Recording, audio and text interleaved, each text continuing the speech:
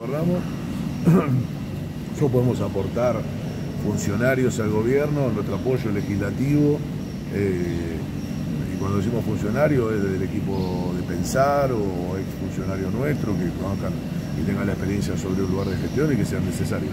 ¿Por qué no les interesa cogobernar?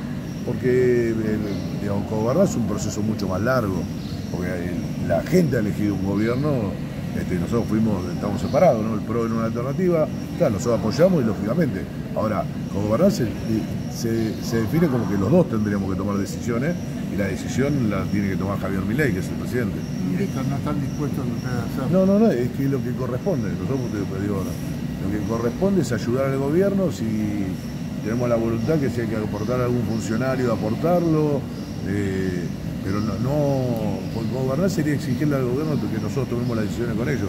Nosotros la única que exigimos es la que es, es en- dentro del Parlamento, por las otras el Ejecutivo tiene un solo presidente, un solo conductor que es Javier Milei. ¿Qué le